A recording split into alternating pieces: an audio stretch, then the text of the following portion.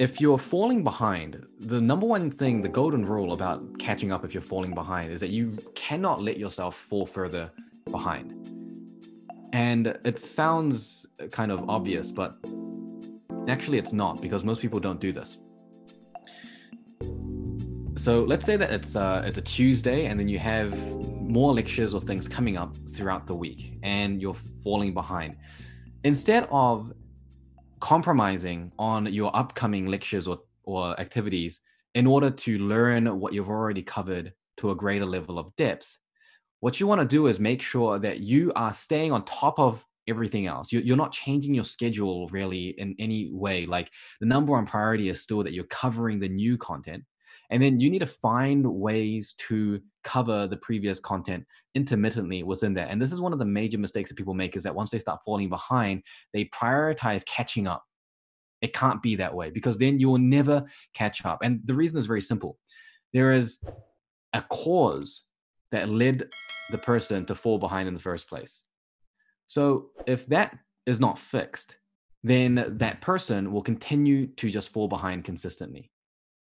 And if you fall behind consistently further and further, then there's no possible hope of catching up after that.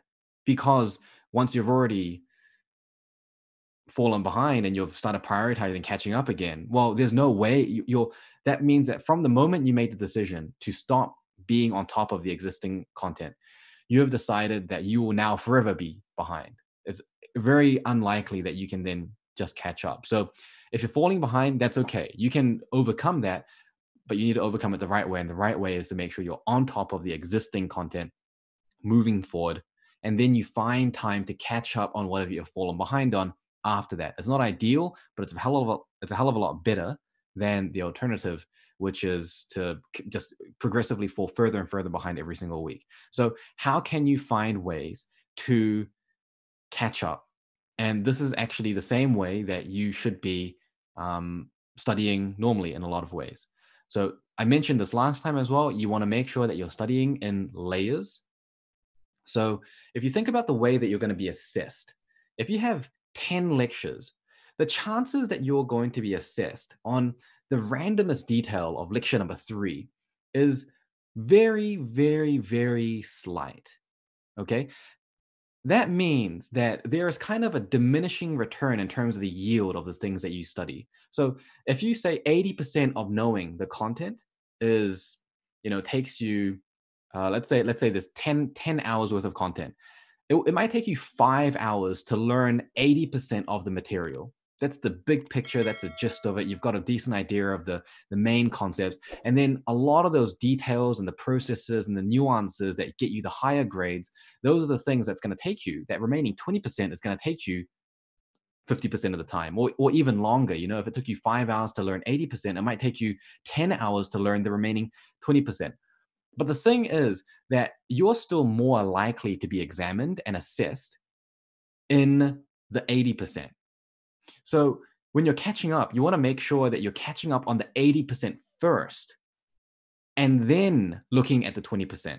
And you can even cut that even more. Of that 80%, 80% of that is the most high yield. And that's going to be the stuff that's very quick for you to learn. So that's the type of thing that in a one hour lecture, you could learn that stuff, which is around 60% of the most important detail, in about 15 minutes. And by doing that, you've actually covered yourself for being able to answer the most likely questions that you could be tested on in the shortest amount of time possible by building just basic first principles that you can logic use logic through to figure out.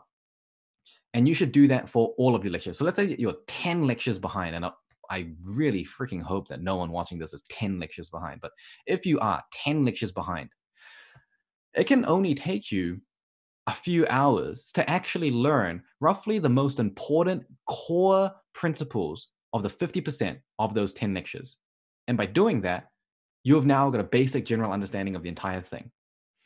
And finding a few hours across, you know, a week or so is not really that hard if you space it out here and there. Then if you get more time, you can go over and do another layer. And that layer will cover you another 20%. And so now your chances of getting a few more random questions right have increased and your knowledge has deepened and you've gotten a little bit more detail. And then if you have more time still, you can keep going again and again and again and just putting those layers on top. But it means that you're not spending you're not spending five hours on lecture number one that you're behind on. And then you don't have time to cover lectures four, five, six, and seven because you just ran out of time. It means that you've studied all the lectures to a basic level, and then you've studied all the lectures to a more intermediate level, and then so on and so forth. So that's the smartest way. And it's also the fastest way because it means that you are making meaningful ground in the fastest way possible. So if you only had 15 minutes to study, you can actually study an entire lecture's worth of material in 15 minutes. You're just not going to get to that maximum level of depth and detail. Okay, so reframe it that way. See how many layers you can get through over time. And now, this is the same way that you should be studying for your normal lectures. The, the night before your pre study, the priming, you need to be doing that core most important stuff. Get the most important information out there first. Big picture understanding, frame the way that it works. You want to know, I always say, you want to know how the information works before you even know what you need to learn.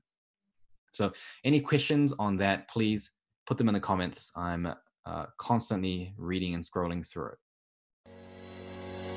it.